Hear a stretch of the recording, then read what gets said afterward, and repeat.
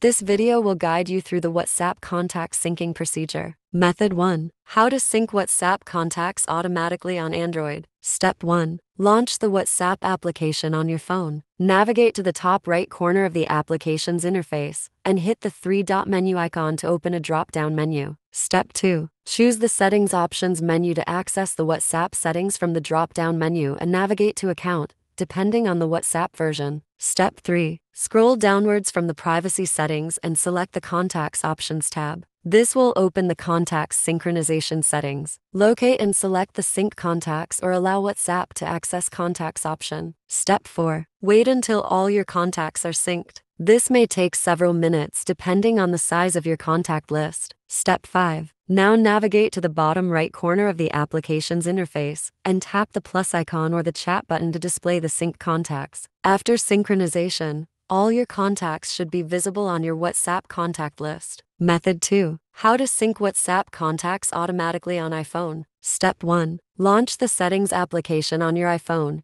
Navigate to the Privacy tab and hit Contacts. Step 2. Swipe down. Select WhatsApp from the list of apps and turn on the toggle switch adjacent to it. This will grant WhatsApp access to your contacts. Step 3. Now launch the WhatsApp application on your iPhone and navigate to the Chats tab at the bottom of the application's interface. Step 4. Navigate to the upper right corner of the Chats interface and tap on the new chat icon. This will display WhatsApp's sync contacts list. Step 5. If there is no contact on the list, pull the contact list interface downwards to refresh the contacts list. After that, the application will begin syncing to access the contacts from your phone's storage. Step 6. Wait until WhatsApp completes syncing your contacts. This takes a longer time when you have a large list of contacts. When all contacts get synced, you will see them on WhatsApp's contact list. Method 3. How to sync WhatsApp contacts by adding contacts manually. Step 1. Open WhatsApp on your phone